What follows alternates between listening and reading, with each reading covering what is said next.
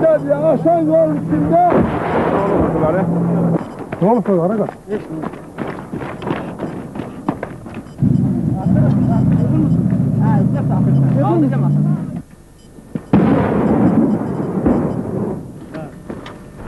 Gelin görün ya tomatımın doğrusunu. 55 karşıma cevap